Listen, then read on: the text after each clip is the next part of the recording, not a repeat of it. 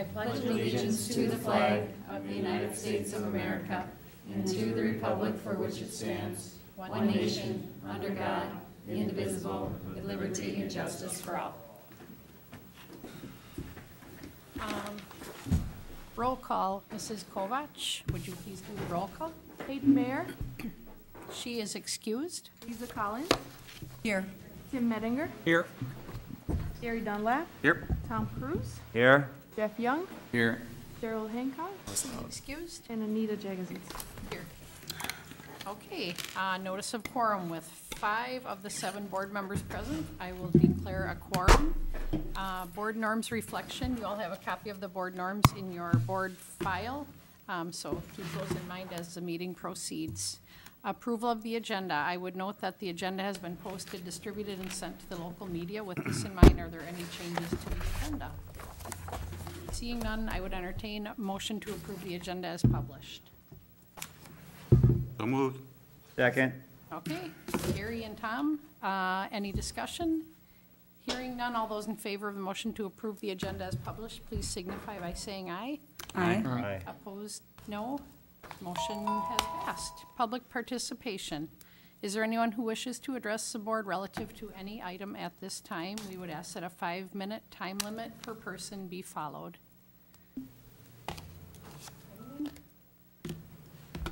Okay, um, moving on to recognition and thank you. Dr. Mueller. Yeah, tonight, um, we'd like to thank Matt Rundy of Rundy Metal Recycling. He donated, uh, used parts, um, that we'll be able to use on our buses totaling three thousand dollars, but actually, what it does for us as a district, we, it actually cost us nine thousand dollars to actually go out and get these parts to, to fix our buses for use, so we want to thank them greatly. And this isn't the first time they've done that, so thank you.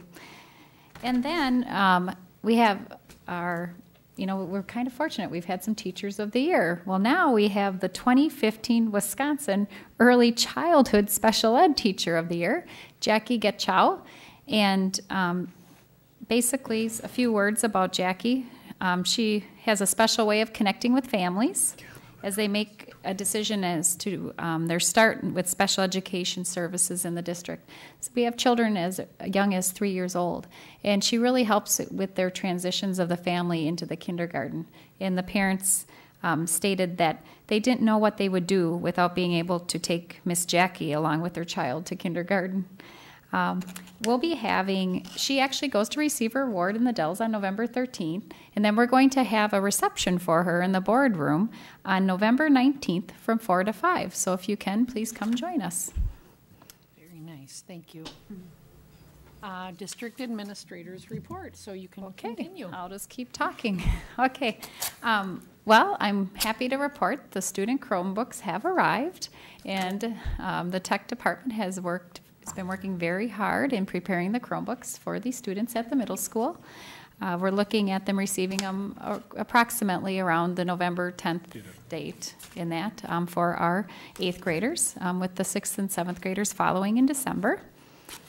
Um, We also had an informational meeting on HRA benefits for our educators. Um, Jay Clark and uh, Lisa Risch have been doing a joint effort very nicely on um, moving forward with information on that topic, um, just so we can make an informed decision as we proceed in the future. Um, Then, we, uh, myself and a few of the board members, we took a trip to Cochrane Fountain City last week um, for a regional um, WASB meeting. And at that, we have some recognitions of our board members. Um, Anita, next to me here, she, for her attendance at meetings and all of the work she's been doing, she got what's called a level four recognition. And they only go up to level five, if I'm right. So that means you've It's only taken me 18 years to get to level so lots of service. And then Kate um, received a level two, and then Lisa received a level one award. So we just want to thank you for your service and appreciate all the work you've done.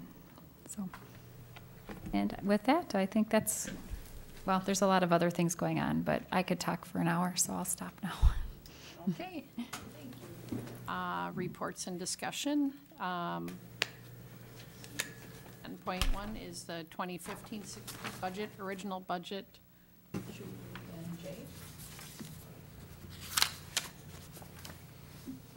Sometimes it's easier to see if that first bank of lights is turned off. And if the projector Projector's comes on, on. that, that makes it a lot I think we might too. need the projector on. Yeah, you got a, the power on the projector? We got a Oh, blue light, I think It's we're on our coming. way. We can see it now. It's Yeah, starting. it's showing up slowly. Well, while we're waiting, um, we have one athletic team that's advancing on, which is our girls volleyball team, and they'll be playing in Baraboo on Thursday evening at seven o'clock. Um, they became regional champs on, in, let's see, Waunakee on Saturday evening, made the trip.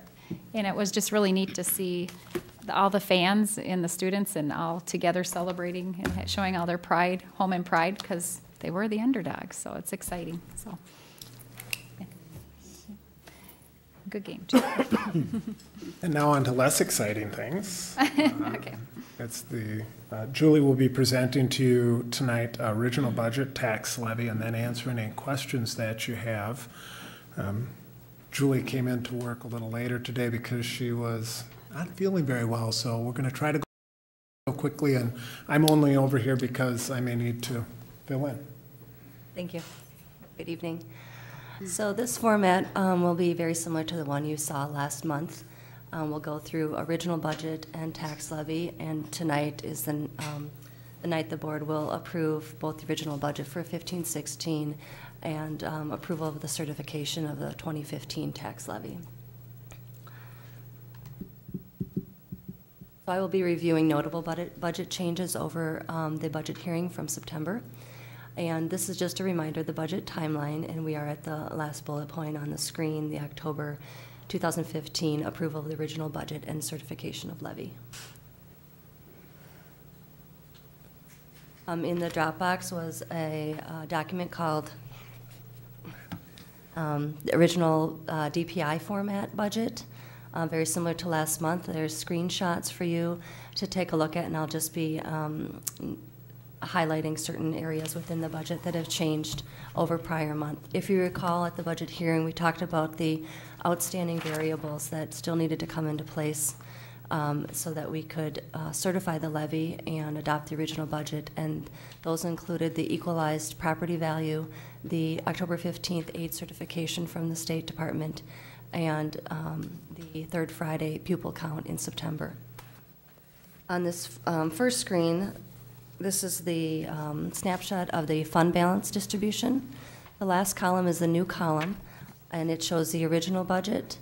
And um, the audited 1415 is the one that you want to compare to. And so um, the audited 1415 fund balance of 9,785,000 uh, goes up to the top of the original budget, or it's the starting fund balance for July 1st, 2015-16 uh, fiscal year. And uh, you'll notice an increase um, estimate of 384,000 when you take the projected um, final fund balance for next June 30th um, over the audited June 30th, 2015 number. Um, So we project an increase of 384,000. Um, That's an increase over the proposed, um, specifically because our revenue limit went up. We had more students in the third Friday enrollment count than we used in the proposed budget, and therefore the revenue limit increased. Um, And so we um, are able to afford to, to uh, serve more students here because we have a greater lev- revenue limit and we have more kids to serve with those dollars. Um, This increase in fund balance over proposed is due to that increase in revenue limit.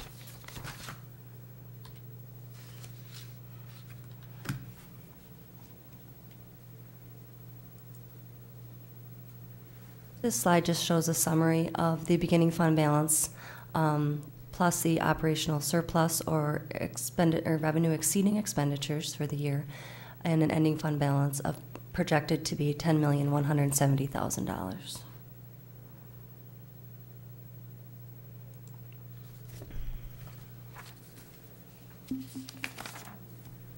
Next, I'd like to draw your attention to um, page one, line nine, local sources. This is a combination of the property tax levy and mobile home taxes, and you can see the increase from 12,818,000 in 2014-15 to $13,728,682 in 14-15.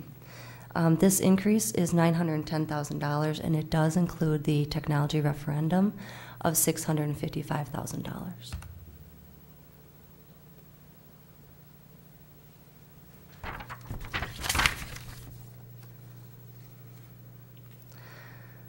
Next on line 31 is the state aid general. This is a slight decrease from proposed, approximately $22,000 decrease from the proposed, but it's an increase of $575,000 over prior year. The increase in aid and revenue limit over the prior year is a result of the increase in the three-year um, average student membership of 71 pupils, or 71 full-time equivalent membership. Again, we used 56 in the proposed budget. Um, And just a reminder, each district's impact is independent, and it's determined by comparing the local factors to the state-determined calculated figures.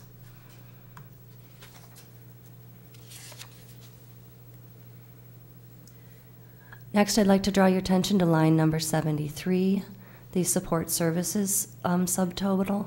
There's a decrease from the proposed budget of $132,000.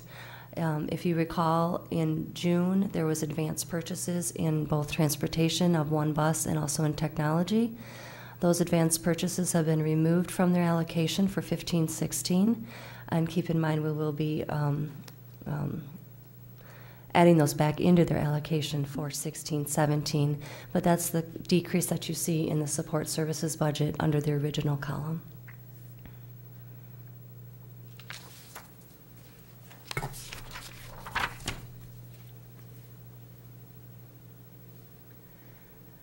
Next on line 74, top of the, there you go.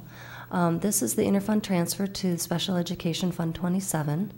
Um, As you are aware, Fund 27 cannot be in a deficit, and so there's a transfer at the end of the fiscal year from the general fund to Fund 27. In 14-15, the transfer was $5.9 million. That was an increase over the budget and over the estimate due to um, delayed Medicaid reimbursement receipts. And so um, we project that this year we will be able to recoup some of those revenues that were delayed. And so the transfer um, is projected at about $5.6 million.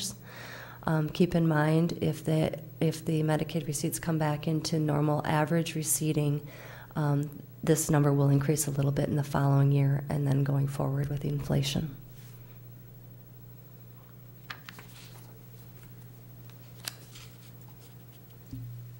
Before I move on to the specifics of the tax levy, are there any questions?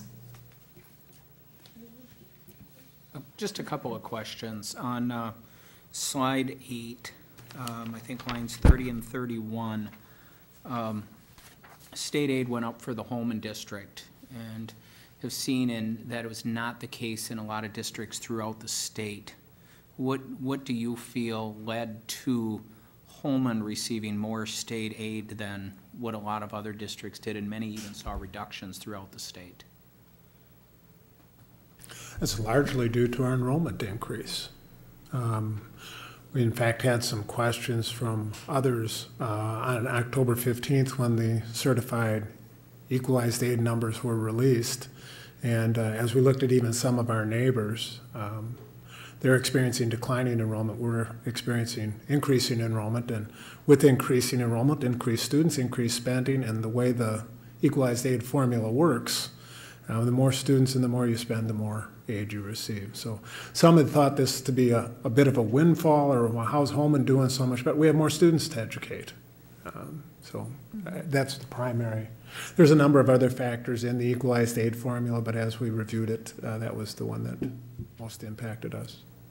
And then the next question is, it always seems like in this year, there's always that uncertainty around the budget because the state has their budget negotiations. Well, next year is the second year of the biennial state budget. As we look out ahead to next year, the picture sometimes is not as murky. Um, As we look at that, what effects do we anticipate next year um, with the second year of the state's budget as it reflects to state aid?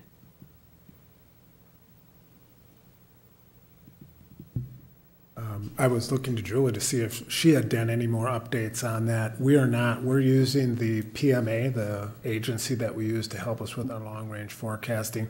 We're relying upon them and the ears they have on the ground in Madison and talking to other school districts with what they're doing. Um, I don't see a change, honestly, in the kind of rate of growth or lack of growth in some school districts that we've experienced in recent years. So it'd be more of the same rather than uh, expecting an unusual hardship or some type of uh, larger contributions. Jay, correct me if I'm wrong, there is a categorical increase next year in the second year of the biennium. So we would see a little bit in the line 30 um, increase, uh, also based on our FTE, but I believe there's an increase in the current categorical per pupil for year two. Correct. I'm sorry, I was referring to the equalized aid, but uh, Julie's right, that's another major component of our, our budget. Not, not of the same scale as the equalized aid, but uh, nonetheless an important part. Thank you.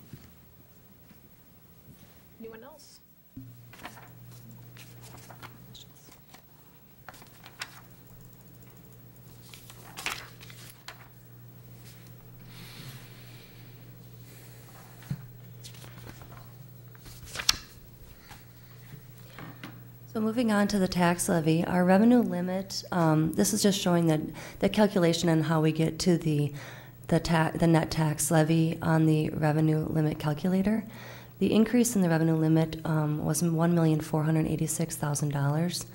Uh, the state aid increase that we just spoke about, um, subtracting that from the one point four million, um, the state aid increase is five hundred and fifty thousand dollars. Um, there was an aid adjustment for over levying last year, um, and it brings us to um, taxes per revenue limit of nine hundred eleven thousand dollars. Um, uh, as spoken about last month, and just a reminder to the board that we are under levying the debt service levy for fifteen sixteen. This was part of the referendum, um, technology referendum communication, that we would not have an impact. Um, so we are levying the six hundred fifty-five in the general fund, but then we're under levying the debt service um, levy that's called for in the schedule for the debt service principal and interest payments due by $387,405 um, for a net tax levy increase of $523,983.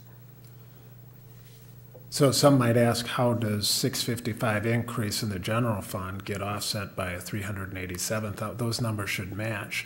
The reality is, our commitment was not to raise it over what was scheduled for this year. So there was an increase scheduled for this. And so the combination of eliminating what was going to be an increase, plus then even reducing it from the prior year equals the three hundred and fifty-five thousand dollars. So it is in there. Um, This is the reduction year on year, but add to that what was going to be an increase and you get the 655. Just to add to that, the original debt service levy schedule for fifteen sixteen was three million seven hundred fifty-five thousand two hundred eighty-five, and we are levying three point one in the debt service.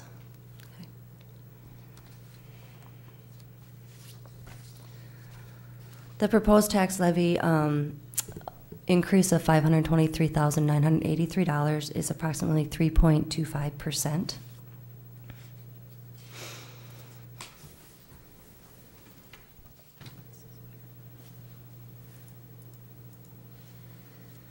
This slide shows you the change over prior year. So for um, 2015, we're recommending the levy certification at $16,678,967. Um, increase over the 2014 amount of $16,154,984,000 $84, excuse me. Again, 3.25% increase.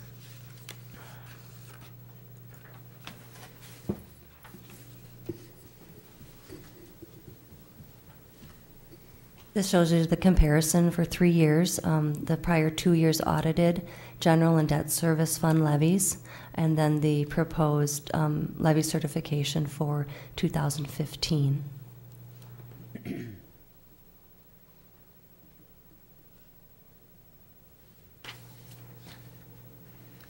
Gone ahead and updated this chart from last month so that you can see the growth Um, Holmen is the blue line. Sorry, we're having a little trouble getting this whole thing on the screen tonight.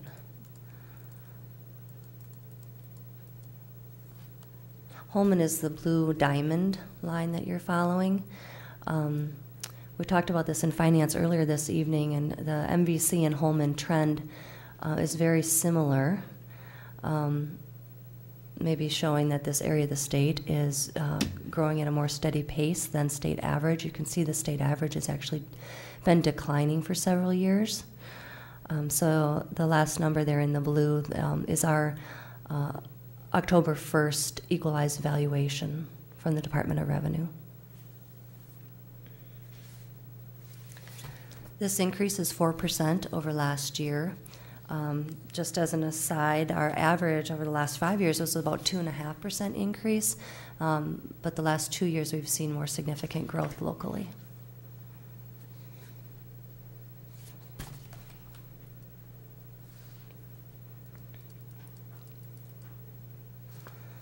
The reason that growth is so important is because it goes into the formula to determine the mill rate. And because we had 4% growth, we take the tax rate over the equalized valuation to um, calculate the tax rate that is applied to the property um, for the taxpayers. And so the certification of sixteen million six hundred seventy-eight thousand nine hundred sixty-seven dollars in tax levy over the new October one equalized value um, gives us a tax rate of 0.01123 or eleven dollars and twenty-three cents per one thousand of property. Um, this is a mill rate increase of three point two percent. Actually, that's the, isn't the 3.2 is the tax levy increase, because the mill rate, as you'll see here in a moment, goes, goes down. So that was the tax rate increase. Right, I'm sorry, mill rate is going down over f- 2014. There it is. There it is. This is the same as last month, only the, using the new calculated mill rate of $11.23. This gives you an example of how um, your property would be taxed, and it's only the school district portion of the property tax. So you can use this chart to estimate what your property taxes would be. Now, if your uh, value of your personal property has gone up, uh, you need to take that into consideration when multiplying out or determining the school portion of your tax rate.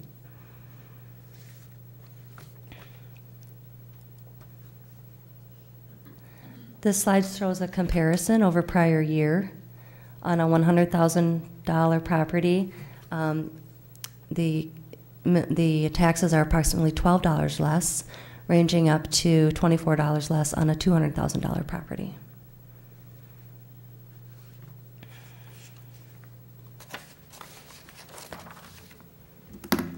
This is the final slide, just showing the distribution between the general fund and the debt service fund.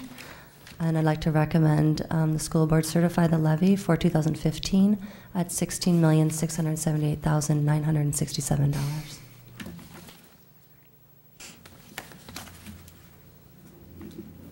Okay.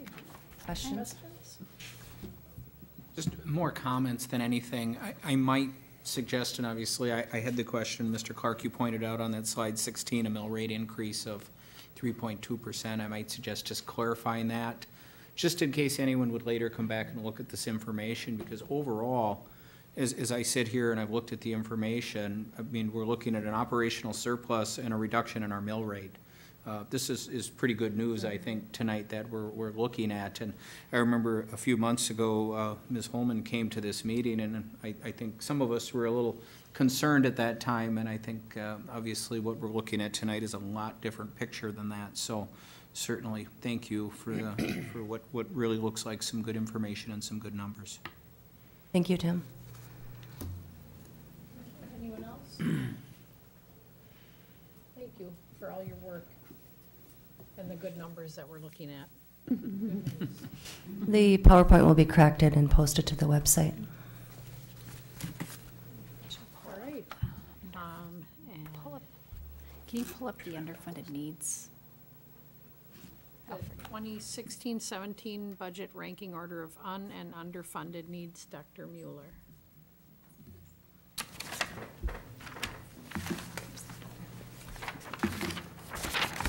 Oh, yeah, you got, you got.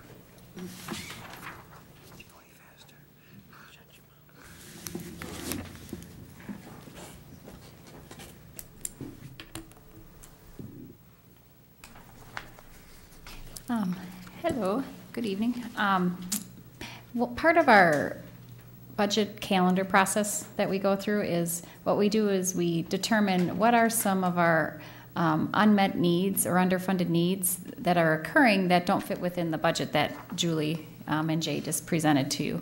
So we went through quite a process where all of our um, principals or budget authorities came forth with their um, pri- unmet needs or priorities that they had within their buildings and within their departments, um, in our other areas, um, in the business service areas and transportation and so on, buildings and grounds. And then we took the rubric that was board approved and ranked them. And so before you is showing you, and you have this also in your Dropbox, the listing of all of these. Um, and basically, um, at this time, it's just we're being asked to approve the rank order as presented at our November 9th meeting. So this is for you to see and view tonight and just kind of see what kinds of things um, are happening that we aren't able to fit within our operational budget at this point in time. Okay? Any questions? Yeah, Tim? Just for clarification, as I look at the very first one on here, buildings and ground, it's a utility cost Oh. increase. Uh, My question is, is I'm not sure how we can unfund or unmeet a utility cost increase. Do- Mandated. Yeah, what would typically happen was if uh, the utilities exceeded the budget, we wouldn't complete some capital maintenance project to make sure we had the funds, which is one of the reasons why we had to have a referendum uh, to meet capital projects needs. Um, But you're right, utility bill has to be paid, which means something else doesn't get funded. Yeah. Thank you. And Is any other questions? Okay. Okay, and school board district administrator operating principles, Dr. Mueller. Okay.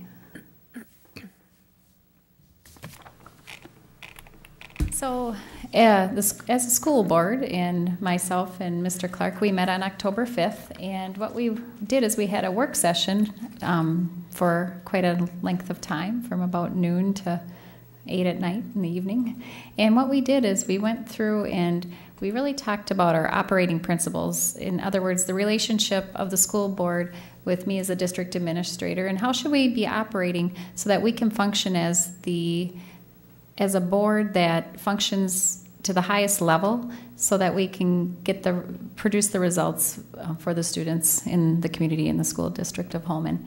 So um, tonight what we're doing is just bringing forward um, to start taking a look at these and one of our recommendations is the board norms that we had before actually fit within our operating principles. So what we're looking at in the future is to we don't need the previous board norms, but they would be worked within our operating principles.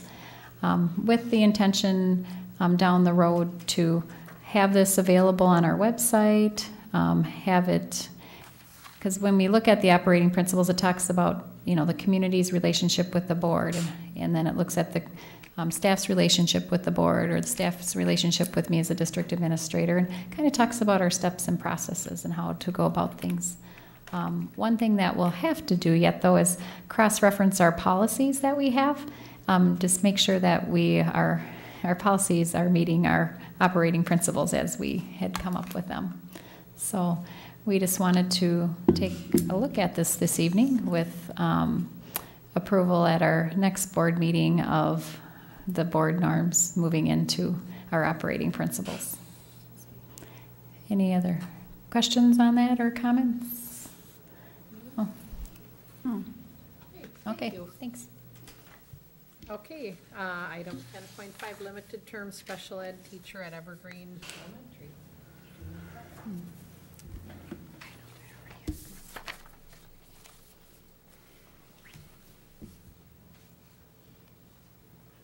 Good evening. Um, I'm here tonight just to speak for one minute about um, the need for an additional special education teacher at Evergreen. Um, In your materials tonight, you have an issue paper which addresses this. Um, Now that our students are all in school and we can see who's all here, we are experiencing a kind of a higher number um, of students, particularly at the kindergarten level, with some pretty high needs. Um, And so this has really resulted in some very high caseloads for our special education teachers, and that's really why an educational assistant isn't, isn't what we're requesting. We're really requesting a teacher to relieve some of the, the high numbers of students per teacher. Um, This will be a limited term just for the rest of this school year. I believe this is also on your consent agenda tonight so that we can get this posted and try to uh, meet the needs of these kids as soon as possible. Uh, If you have any questions, I'd be happy to answer any questions. Question. What, I was talking about this with my um, son's, my son's teacher. It was a sub, actually, for my daughter's teacher over at Prairie View, and she's in second grade. And the sub was telling me, you know, how difficult it is to come into classrooms sometimes, and there are different students, and how to pick up the pace with that. And she said, you know, one of the biggest factors is when you come into a classroom, how many kids have special needs in that classroom. And she was talking about, you know, there'll be some classrooms she'll come into and she'll have, you know, a high number, which makes it so difficult to control and even have an environment for learning. Do you have a, a cap on like what, how many kids with special needs where there's, you know, you need to do interrupting behavior and redirecting and those kinds of things? How many students in a Well, classroom really should We be there use a teacher? process, we use a process called caseload factoring. Okay, And so we apply a factor to each of our special education students okay, when we build our caseloads so that they don't get too high. okay, Um, When we have, you know, we put our kids into our caseloads, but when it comes to kindergarten, we kind of are guessing every year how many are going to be enrolling in our district. And so I think that's why this year is kind of unique. mm-hmm, Um, There just ended up to be quite a few that just landed in the Evergreen boundary. And so that's Right. why Evergreen's is experiencing this this year. okay.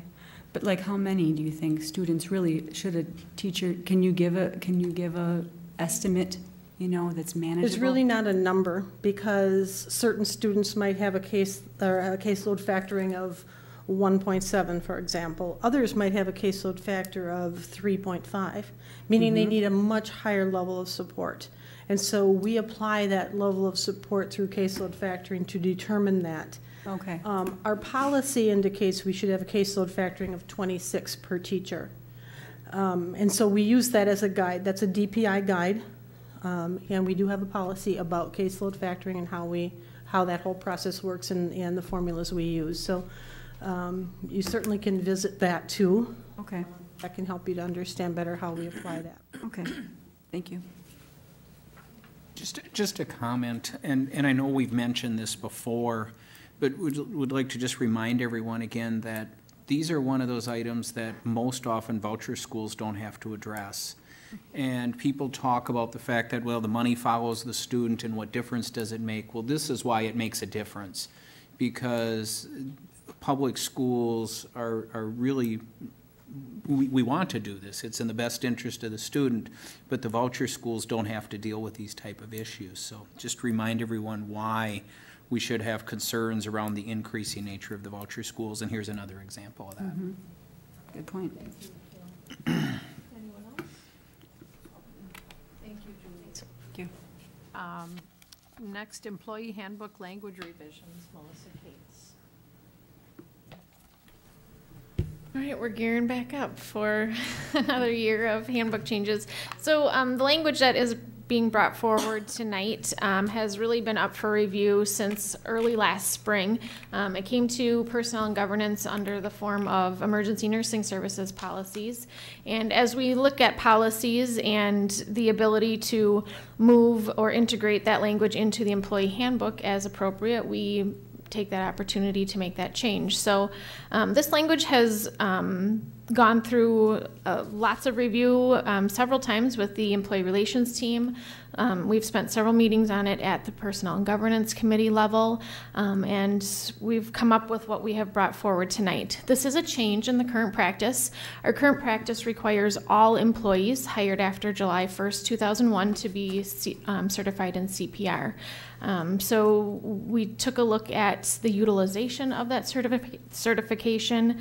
Um, the costs that we put into providing that certification, the training, um, et cetera, for our employees each year. We do also hire our own trainers for that class um, and came up with this list that you see within the language for employees um, who will be required to be certified in CPR and first aid. Um, it includes um, an extensive list of people who um, their training would likely be more necessary in the role that they hold within the district. So you'll see a lot of times in there the special education um, people who work with the special education students um, will be required to be certified. Um, we also will include um, our crisis teams within each building. So outside of these um, types of classifications, you'll also see additional employees um, who are on the crisis team who will be required to be certified as well. The proposal is to put the language into effect January 1st, so we can give advance notice to those employees that um, we are making this change, and to also be able to incorporate that change into the emergency nursing services policy within um, the board policy to make that change as well. Any questions? I have a question. Yeah. What are we saving here? I mean, do we have, you know, a, a dollar amount of what this saves us in? Not off the top of, I don't Money recall. We or did go time or- back, um, both. There is lots of opportunity cost, um, I believe as well. Um, there's lots of clerical time as well that goes into tracking this, um, with employees. Um, we also, if an employee doesn't get certified, we don't, there is no penalty for that. So if we're not going to follow through on a policy that we have, if we're not going to enforce that, um, we should really take a look too at um, what the need of the policy is. Okay. I just wondered too, from the employee's perspective, is there any potential liability to the employer or employee if they're not certified in CPR and something happens when they're on a field trip or when they're with a child and something happens? You know, obviously, we've had staff, all staff had been, needed to be certified. Um, anyone correct? hired after, yeah, 2001. Mhm. Um, I'm just wondering if there's any issue with that or protection with that if they aren't. I don't believe legally there's any implications that, Okay. I believe generally the Good Samaritan law would Yeah. follow and that anybody attempting to provide assistance would be Mm-hmm. not found to be liable for injury. Okay. Yeah, we really spent a lot of time going through this list and ensuring that in that scenario, we would have, um, so a bus driver is on there. Um, ensuring that the bus drivers are, and uh, again, if you look at the language, the first line says call nine-one-one, so, um, that's always something we want our employees to make sure they're doing in an emergency situation, so. Tim? I'm just kind of trying to get the rationale here, and I, you know, the, I- I don't want to say one position's more than another, but as I look at this, you know, bus drivers are with them a little piece of the day, where the teachers are with them all day. Uh, you know, custodians, I mean, some of them are night custodians, that their interaction is going to be very limited, yet we have them on the list, and I'm just a little maybe concerned that we've narrowed the scope. If, um, when we looked at our crisis teams within each building, um, the majority of our crisis team does encompass our teaching staff. Um, as you look from building to building, um, the special education assistants, typically you're going to have those as we, um, put children and integrate them into the regular classroom. They will also be within a regular classroom as well. Um, there was lots of rationale that we went into with not putting an administrator on there. Um, for instance, we need to have someone in charge making decisions on who needs to do what next and guiding people to different areas and what needs to happen. Um, so that was part of the rationale is to not putting an administrator on that list. Um, so we always have, um, except with the exception of two of our buildings, there's a nurse full-time on staff. There's a health office aide on staff within all those buildings. Um, we have that police liaison officer as well. Um, and the numerous amounts of coaches that we have within our teaching staff um, would also require a vast amount of our teachers to require the certification as well. So, I- again, I look at all the educational assistants are on there. Why, what was the rationale just behind not having all teachers if we have so many anyway? Was it, I mean, if it was simply a cost situation, you know, we, I, probably would like to see them added if it was simply just a cost savings measure. Uh, Was there other additional rationale for not having all teachers on that list? Part, part of it, I think, Tim, was looking at the safety of the student and when they're in different places and situations. So like when they're on the bus, we have a bus driver. When they're in the school building, we have our crisis team. Now, as far as the EA goes, a lot of times the EAs are with individual students and might be in a room alone with those students. But um, Another example would be the EAs on the playground and being able to offer immediate assistance. The reality with the teachers was that where there's one teacher, there's often lots of teachers. Would we ever have a situation where all of them needed to administer at the same time? So it really had to do more with covering all locations and environments where students are than redundancy in the people there. But other than maybe a little extra cost, what would the harm be in having all of them certified? Uh, Just the, the, the time, the activities associated with the bookkeeping and the follow-up if people don't, and the money to train all people when the likelihood of all people ever needing to apply the training is pretty darn slim. The, the one other part too is the time that we have built within our time with staff is very limited now for professional development opportunities. So we'd have to ask them to do this outside of working hours. We have to ask them to do it on other days and times. Um, and part of the time, part of the reasoning would be, my guess would be is with all the other mandates that have come forward with teachers, they're needing to fulfill certain other requirements during those professional development hours. So I think for part of it, it's a relief for some of them. And we will allow staff to continue to become certified. Um, we just won't be paying them to attend the course. So if they're not a required um, classification on this list and they still want to be certified, they're more than welcome to attend that certification training as well. So we are, and, and we should, for all of those on this list, it is paid time, we are paying Yes. them to do that. Yep. I- I'm still a little hesitant, I think, just given, I mean, I, I get it, but, you know, we're talking about the safety of our children, and mm-hmm.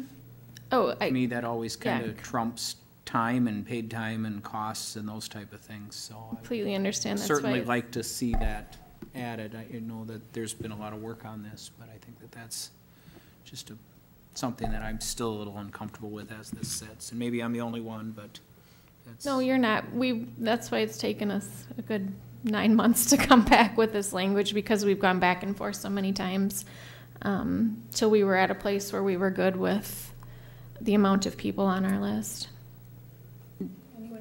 One more question. Does DPI give a recommendation on this for either best practices or anything? There's no recommendation out there? No, we did um, review policy of other local districts, Lacrosse, Onalaska, and um, we are very um, heavy in our certification requirements. Many are, um, if you want to take it, you can, we'll pay for it, but there's only a certain small amount of people required to. Okay. Um, I I believe we are still very heavy on our list of um, staff required compared to other local districts. All right, thank you. Thank you. Uh, Next up, we have the consent agenda items. Are there any items that anyone would like considered separately? All right, um, I would entertain a motion to approve the items on the consent agenda as presented. So moved? Is there a second? Second. Okay, any discussion? I do have, um, in the personnel report, we do have one retirement at the end of the year. And um, Sandra Stoddard um, has actually served as an educational assistant at our high school for 14 and a half years. So we just want to thank her for all of her service and time in the school district of Holmen. So thank you, Sandra. Any other discussion? All right, hearing none, all those in favor of the motion to approve the consent agenda as presented, please signify by saying aye. Aye. Opposed, no. The motion is passed. Uh, Board member reports and discussion. I will call upon the board members in order of roll call and ask you to present any comments or committee reports you would have. Uh, Lisa Collins. I don't have a whole lot to add, other than we had our finance committee meeting tonight, and we went through in depth the same presentation that happened tonight, and um, I guess one thing that sticks out to me in the conversations that we've had is that um, there may appear to be um, more money um, that we have to work with than we initially thought, but in further conversation about that, um, there's so much more that goes into that. Um, We don't, and that we don't want to be overly confident about the fact that we have this money in the budget um, due to a lot of reasons as far as unanticipated costs and different things. Um, And who knows what it's gonna look like next year. So I, I kind of walked away from that thinking, um, maybe when it comes time to being so worried about the budget, we should just kind of wait and see and not get too worried about it. It causes a lot of anxiety, I think, um, leading into the budget um, cycle. And so, but also not getting too excited if it looks like we have a windfall of, of money. So that was one of the big things I walked away from that, that meeting with. But thank you to Julie and Jay for really working on that. That's it. All right, thank you. Tim Mettinger? Uh, Just a few things, and I don't know if everyone or anyone saw uh, yesterday's uh, La Crosse Tribune had the article on the sleepy teens on the very front page article yesterday, talking about start times in the schools. And, uh, you know, I I certainly think that, uh, you know, that's something that I don't think we as a board have really talked about much, but I do think that, uh, that does have some concerns and um, something that should be looked at, and I understand the challenges with that, but if it's in the best interest of the students, I think that's where we as a board need to be creative to find ways to overcome those barriers that are, are in the way. Um, Obviously, to me, it's, it's putting that student front and center, and is there a way to, to work with that? I know it was a long time ago when I went to school, but I, I, we never started that early when I was in school, and I know even my oldest two, um, the school did not start as early as it does now, and so that has, has changed probably over the last probably 10, 12 years, and that has not always been, been the norm, and I, I think certainly something to look at. Um, Somewhat related to the early school start times is something I talk about almost every year this time of year as well. Uh, It's, it's quite a few years ago now that uh, Congress had increased the uh, length of time that daylight savings time goes into the first week in November. And every year I mention how concerning that is to me because the sunrise now is coming after 7:30 in the morning. And we have children at the bus stops 6:30, even earlier, um, on these dark foggy mornings, often wearing dark-colored clothes. And we know how kids always stand perfectly still and well-behaved at the bus stops in the morning. And that always is a concern of mine as well, to have those kids out there on these dark mornings. Next week, the sun will rise an hour earlier, um, and, you know, that, that kind of clears itself up for a little while, but that is another concern with these really, really early start times and the increase in daylight savings time. A few years ago, by the congressional act, um, increased that as well. So just a couple of uh, thoughts there to maybe something we could take a look at. Thank you. Uh, Gary Dunlap. I was not going to respond, but I'll respond to both of Tim's comments. One is the, the uh, early start times. If you read the article, the article also says, students prefer to stay up late. Well, I went to bed at nine o'clock during s- in school year when I was high school. Ki- High school kids, you know, if they have to go to school at seven o'clock, and when they ought to go to bed at nine or ten o'clock, stay up till midnight or one o'clock, and we, we cater to when we should bring them to school, so they can stay up till eleven, twelve o'clock. And the other one was, um, what was the other comment we had? Daylight savings. Daylight savings time.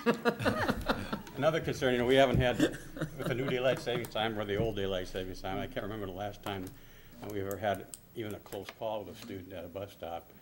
And uh, it's another thing with uh, parent, parents have to be involved with their kids being at the bus stop and make sure they're safe. Um, Three of my grandchildren get on the bus at my house and they sit on the porch until we see the bus getting close and then they go out there. That's all I have. All right, thank you. Uh, Tom Cruise. Yes, I'd like to um, congratulate uh, Anita for her time and Kate and Lisa for their time. Um, It was fun going, driving up to um, Cochrane with uh, the ladies, uh, even though we broke the speed limit half the time. But anyway, um, and the doors of the van were kind of challenging at times too, but it was, uh, it was, a it was a very enjoyable time. Um, I, uh, one thing I remember from the meeting was John Ashley was the executive director of WASB, and, and what stood out in the meeting for me is he says, and he said it pretty blatantly, that school systems in this state are reactive. And I, Jay knows how I, and so is Chris, and everybody here, I always comment on proactivity and how we got to be proactive and always thinking the long-term. And I experienced that today with the Finance Committee. I, um, I'm not a real strong numbers guy, but I try to look for trends. And uh, one thing that you know, Jay had commented, when a referendum passes, the reason it passes is because you prepared for it to pass years ahead of time. It's not just some reactive, let's, let's have this ad blitz thing and we'll try our best to uh, make things work. No, we, we, we get the mechanics in place and we try to keep things moving forward. Um, so I was impressed with that, and I, it's, uh, it's enjoyable to see that kind of activity and that kind of mindset, uh, and Julie as well. She did a really good job, so I really appreciate that. Um, the start times with Tim's comments, the, the brain is wired by the teenagers to stay up later, so I I think you can discipline them, but I do think they are wired that way to some, some degree, and I, even at the uh, WASB meeting, there was a guy, um, one, uh, we would have got a book if all of us went to the meeting, but we didn't get the book. So anyway, um, it was about the brain, and I wrote down the title of it, and it specifically mentioned in that book about how brains, lack of sleep, it, I think it does drag the grades down a little bit, maybe not 100%. My kids got up early, they dealt with it, but they took naps, but I had different situations for school. But I do think it does create some roadblocks and it slows down some of the teachers' hard work by fighting this fatigue factor to some degree. Uh, I also think that school is a malleable, malleable situation. The voucher schools don't address some of the issues that we have to deal with in these schools. I've also read stories where they're doing phenomenal work in other states with disadvantaged kids. So education is a running stream of ideas, and we have to constantly be looking at our product and how we can do the best for our community and our students. Thanks. Okay, thank you. Uh, I can't wait to hear what Jeff Young has to say about the school start. Oh. Comments? Uh, can I say my spiel first and then? You can say okay. like. This is your Because I don't know. School. I, personally, I think the school start times at the moment is just like a tad early, but maybe that's because I'm one of the kids that stay up late. but, um, but okay, what I was gonna say is about the sports. Uh, this year we've had some like legacy setting seasons from uh, girls volleyball to guys soccer. And for guys soccer we've had the best season in Holmen High School ever. So it's amazing. But um, I know we ended our season on Saturday with a loss but that's fine it was going to end eventually and I felt like that time was the best but I'm gonna congratulate Mason Calander because I don't know how she does it, but she can run cross country and track like unbelievable, and that's really amazing. So she'll be representing us at state.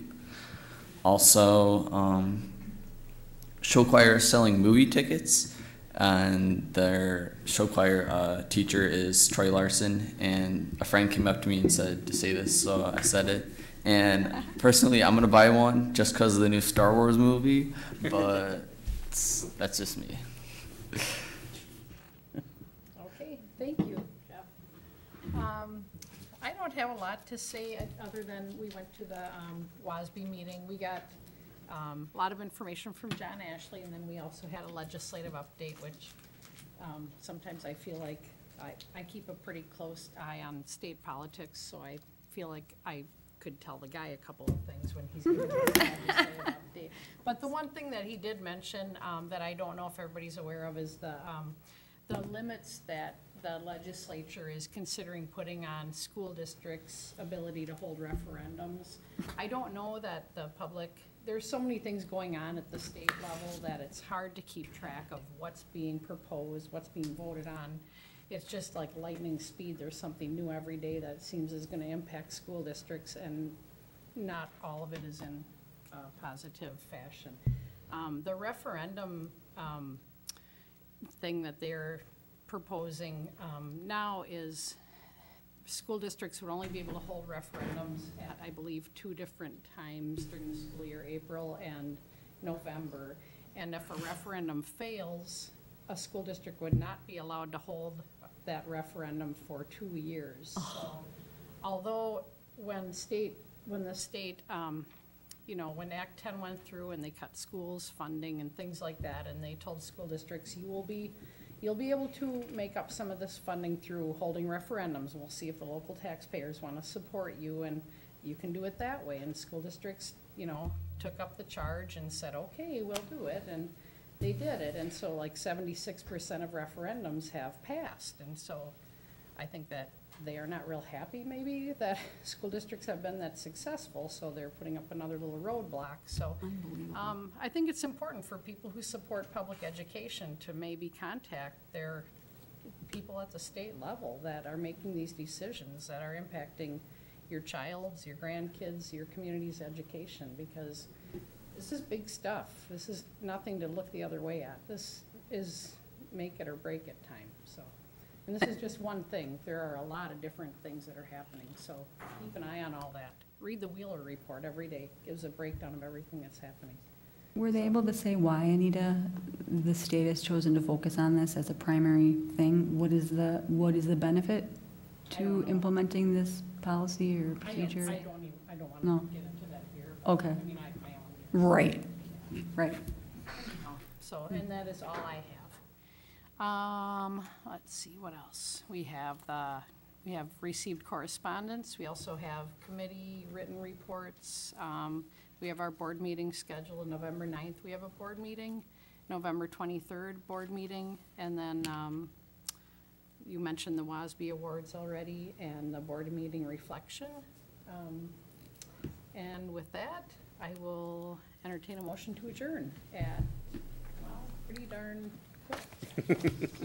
Not as quick as usual, though, but Great there's a lot to cover.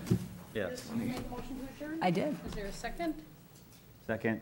Okay, motion and second, any discussion? And all in favor, say aye. Aye. Opposed, no? No. We are adjourned at seven fifty-eight. Nice job, Have a Anita. good evening. Yeah.